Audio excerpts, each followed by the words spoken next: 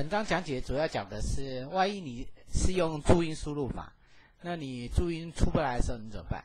所谓注音输入啊，出不来意思什么意思呢？举个例子，假设边你用的是电脑，那你基本上你可能也没有什么手写输入装置，或者说你今天基本上你就是一个 notebook，好不好？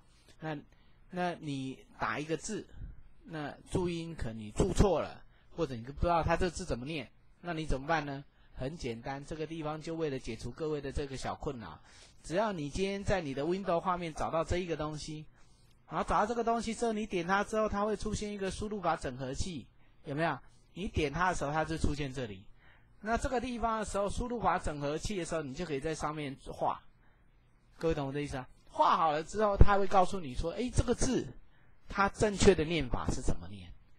啊。那这东西的时候，其实有很多事情，我们在输入一个字哦，不是只是输入一个字。如果你习惯你是用注音输入法，那你这个字出来之后，你还知道要知道它这东西怎么念吗？所以有时候我就心里在想，每次我看到我女儿在翻那个国语字典的时候，或者那个注音字典，我都会心里在想说，哎，这东西怎么那么难啊？你知道吗？你要去，你要去找笔画、找注音、找什么东西？因为有时候连你这个字你不知道都不知道怎么写，那你怎么办呢？所以后来我几乎都是透过这个方式啊，就很简单。反正基本上来讲，就是在上面画，画久的时候，大概像哪个字，它就会显示出来。出来之后，你还会知道怎么念。下次你在输入的时候，你就会知道怎么去输入这个音。那这个功能呢？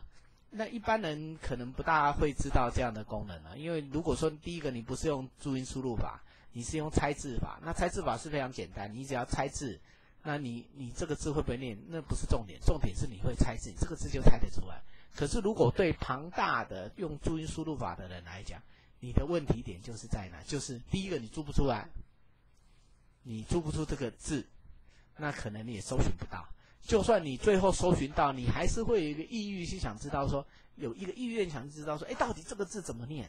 那这一个软体就可以达到这样的功能。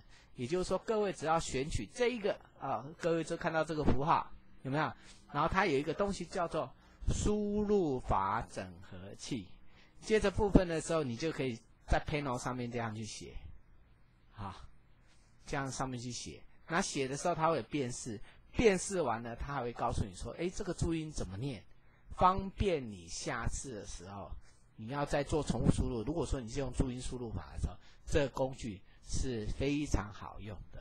所以我有时候觉得，其实影音这个过程呢，就它好像间接累积了很多听众嘛。那大家互相分享，那我觉得这如果会是我的问题，应该也是会是其他人的问题。